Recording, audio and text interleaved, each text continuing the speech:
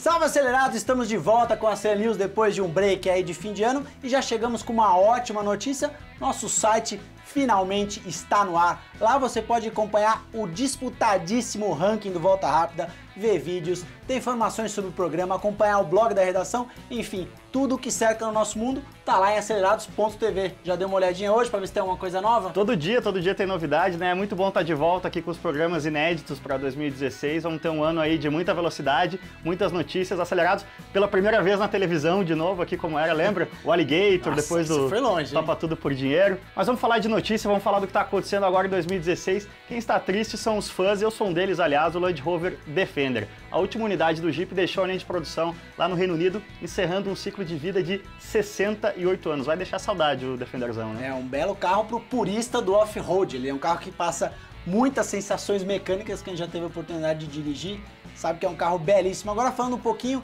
de SUVs mais novos. A Audi apresentou a nova geração do Q7, o maior SUV da marca. Como era de se esperar, ele ganhou novas tecnologias, ficou mais refinado e tem motor 3.0, acelerando de 0 a 100 em 6 segundos, máxima de 250 por hora. Nada mal para um carrinho de quase 2 toneladas, é um carrão na verdade. Nada mal. O Q7 para mim era um carro que tinha um visual estranho, um, parecia uma Space Fox anabolizada. Agora a Audi deu ajeitado, o carro tá com visual bem, bem mais bem resolvido, agressivo. E para quem tem família grande e tem dinheiro sobrando, é uma das melhores opções. Principalmente dinheiro sobrando, esse azul tá muito bonito. Indo de Audi para a irmã menor, vamos chamar assim, não, maior em tamanho, menor em preço, Preço. a Volkswagen também entra em 2016 com novidades. O antigo motor 2.0 da versão de entrada do Jetta finalmente foi substituído esse motor 2.0 que é aquele do táxi Santana meio derrubado. Equipava o Tiranossauro Rex, Exato, né? que você pega no Rio de motor. Janeiro de vez em quando. Agora finalmente tem um 1.4 TSI turbo do Golf. E o câmbio que faz par com esse motor é um automático tradicional, conversor de torque, ao invés do DSG de dupla embreagem, mas mesmo assim o desempenho do Jetta deve melhorar muito com esse novo conjunto aí, motor e câmbio. É, e outro carro ainda falando de Volkswagen que ganhou uma versão de entrada nova é o Golf, mas aí o desempenho deve cair um pouquinho, porque a versão básica agora perdeu o 1.4 turbo e agora tem esse 1.6 MSI.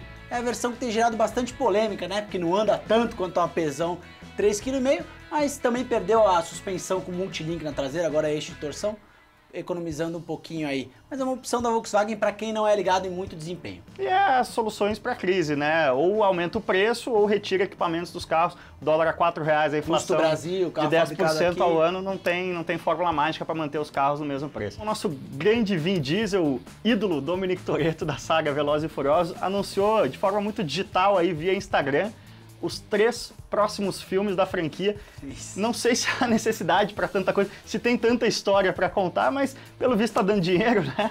O oitavo episódio vai ser lançado em 2017, o nono em 2019 e o décimo só em 2021, um a cada dois anos. E eu não me lembro. Talvez a Loucademia de Polícia. Pode ter tido. Não, é, teve 7 Pode ou até 8, eu o não lembro de décimo, 10. Não lembro realmente de nenhum filme que fosse É, tão longe. Tanto tempo que acho que a gente vai ver carro elétrico daqui a pouco no, no Velozes e Furiosos. É muita coisa. Você sabe o que acontece se você fizer um Lamborghini Gallardo gerar mais de 2 mil cavalos de potência, mas não se preocupar muito com a tração? A grande chance de uma pip.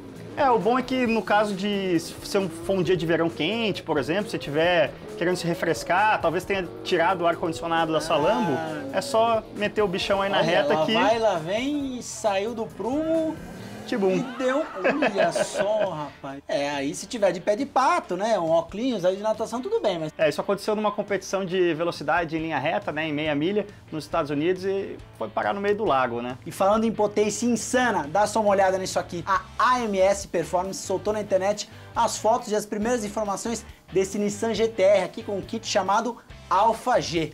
Um novo motor V6 desenvolvido quase do zero. É esperado que o Godzilla produza nada mais que 2.500 cavalos de potência, ainda mais do que aquele lambuzão que saiu do prumo. É, esse, esse turbão aqui tá, tá maior que o do meu AP. Tá realmente. Você bate o olho, você nem reconhece isso aqui como a frente Não, de um não dá GTR. saber. Mudou completamente. Espero que não torça todo o monobloco e o carro saia aí voando uma parte para cada lado. É isso aí, galera. Esse foi mais um Acele News. E se você quiser conferir mais vídeos, acesse e se inscreva no nosso canal youtube.com barra acelerados ou, é claro, visite o novo acelerados.tv. Até isso a aí. próxima.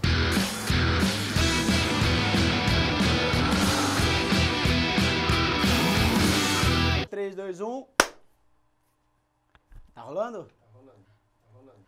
3, 2, 1.